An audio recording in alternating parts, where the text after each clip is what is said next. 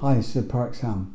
Uh, what about short stay rules? Short stay rules for expats means that you can go and have 90 days in a country as a short-term holiday or business trip without uh, generally need for any additional visas or, or authorities. Uh, once you go beyond that, uh, the permits come in.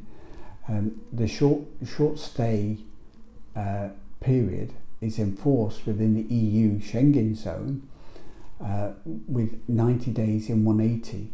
So that's different to some other countries. So in, in some countries like Ecuador, Panama, USA, you can have 90 days, go out and come back in, um, all within uh, the six month period. But in the EU, it's 90 days short stay within any six month period.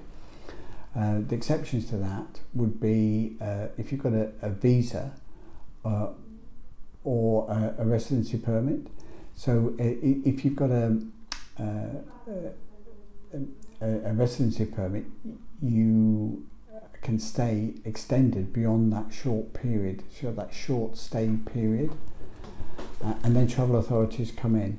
Um, now, if you've got a, a Schengen visa in the EU or you've got a, a, a residency permit, you don't need uh, a travel authority.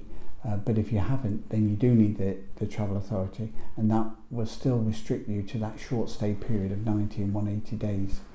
Uh, the residency permit and the permanent residency free you of the short stay rules or citizenship or EU citizenship. For more information and guidance, contact us at proactpartnership.com.